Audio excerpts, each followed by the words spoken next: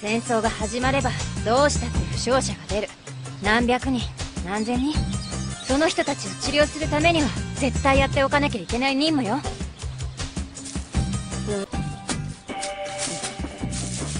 か日経。よし味は覚えた。おこれなんじゃね？おお味は違うような違わないよ。俺に任せろ。ナルト？どうしたの？薬草を食ってどうして腹痛になるんだってばよ。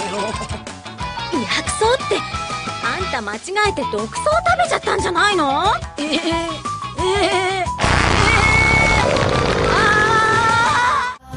探してる。分かってくれますように